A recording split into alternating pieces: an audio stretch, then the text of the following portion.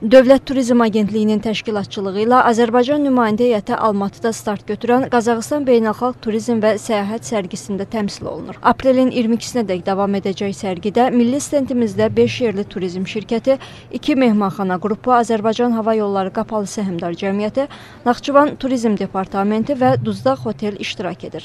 Azərbaycan stendində ölkəmizin, o cümlədən işğaldan azad olunan ərazilərin turizm potensialı, yeni turizm məhsulları və istiqamətləri haqqında haqqında geniş məlumat verilir. Tədbirdə çıxış edən Azərbaycan Turizm Bürosunun baş icraçı direktoru Florian Zengşmit Qazaxıstanın Azərbaycan üçün əsas turizm bazarlarından biri olduğunu deyib.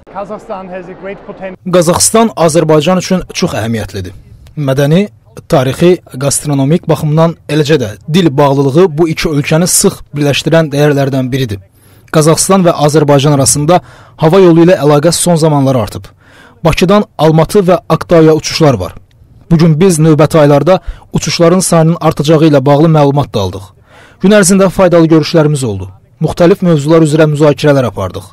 Golf, dağ turizmi, şəhər turizmi, eləcə də iki ölkə arasında sağlamlıq turizminin inkişaf etdirilməsi baxımından görüşlər keçirdik that the number of flights will be increasing over the next months. Milli stendlə yanaşı ölkəmizin sağlamlıq turizminə həsr olunmuş xüsusi pavilyonda Azərbaycanın bu istiqamətdə potensialı və mövcud imkanları ziyarətçilərə təqdim olunur. Biz bu günlərdə Azərbaycanın ə, e, sağlamlıq ə, e, turizm məkanlarını ə, e, sərgiləyirik. Azərbaycan Turizm Bürosunun dəstəyi ilə BMC Hospitality öz otellərini daha geniş Qazaxstanın geniş kütləsinə təqdim eləyir.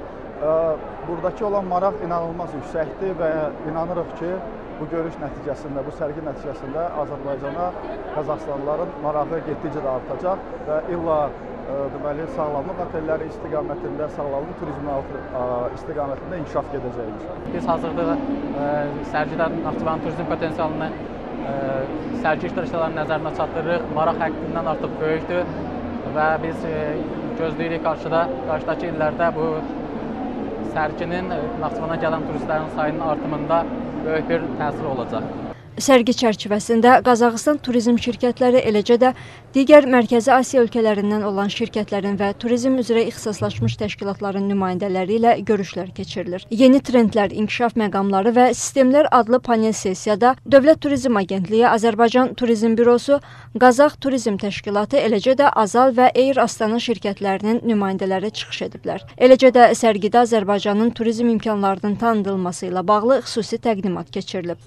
2001-ci ildən etibarən hər il təşkil olunan sərgi Mərkəzi Asiya üzrə ən böyük peşəkar turizm platforması hesab olunur. 15 ölkədən 250-yə yaxın turizm şirkəti və təşkilatının qatılacağı gözlənilən sərgidə ölkələrin turizm imkanları və turizm məhsulları tanıdılaraq qarşılıqlı əməkdaşlıq potensialları müzakirə olunur.